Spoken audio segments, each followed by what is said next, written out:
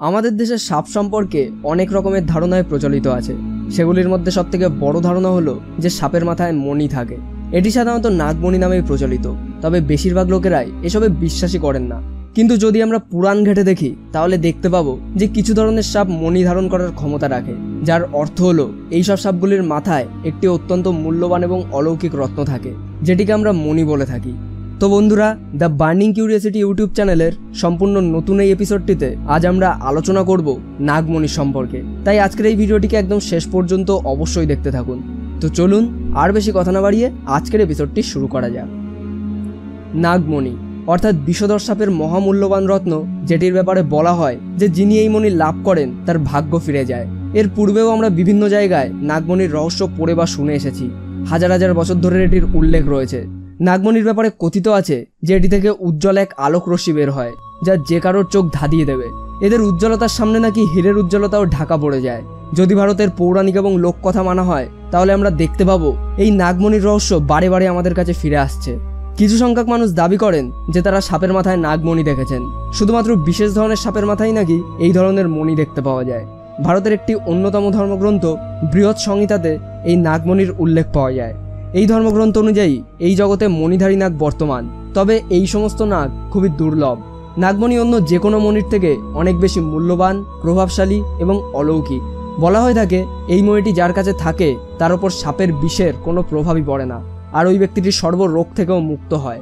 বরাহ মিহিরের কথা অনুযায়ী, যার কাছে এই মণি থাকত, তারা শত্রুদের উপরে সদা বিজয়ী থাকতেন, আর তাদের রাজ্যে ঠিকমতো বৃষ্টি হতো এবং প্রজারা সুখে জীবনযাপন করতে পারত। এছাড়াও বলা হয় যে যখন একটি নাক সাপের আয়ু একশো বছর হয়ে যায়, তখন তার মধ্যে নাগমণি বিকশিত হতে থাকে। আর এই মণিটি ধারণ করার পর ওই সাপটি যে কোনো রূপ ধারণ করতে সক্ষম হয়। অর্থাৎ ওই সাপটি ইচ্ছাধারী নাগে পরিণত হয়। যতক্ষণ পর্যন্ত ওই সাপটির কাছে মণিটি থাকে, তার মৃত্যু হতে পারে না। আর এই মণিটি যদি কোনোভাবে ওই সাপটির থেকে আলাদা করে দেওয়া হয়, তাহলে তৎক্ষণাৎই ওই সাপটির মৃত্যু ঘটে। নাগমণি ধারণকারী কালনাগ প্রজাতিটি ভারতের নাগাল্যান্ডে পাওয়া যায়। তাহলে এখন প্রশ্ন তো এটাই যে সাপের মধ্যে এই মণিটি কীভাবে তৈরি হয়। বলা হয়ে থাকে, কোনো বিষাক্ত সাপের আয়ু যদি একশো বছর হয়ে যায়, তখন ওই সাপটির বিষগ্রন্থির বিষ গাঢ় হয়ে একটি উজ্জ্বল রামধনু রঙের রত্নে পরিণত হয়, আর এটি শিকার ধরার জন্যই ব্যবহৃত হয়। শ্রীলঙ্কার একজন বিজ্ঞানী ব্যক্তিগতভাবে প্রাকৃতিক পরিস্থিতিতে নাগমণির ওপরে পরীক্ষা নিরীক্ষা করেছিলেন। নাগমণির কিছু টুকরোর উপর পরীক্ষা নিরীক্ষা করে তিনি জানতে পারেন যে নাগমণি ক্লোরোফিন নামক একটি খনিজ পদার্থ থেকে তৈরি।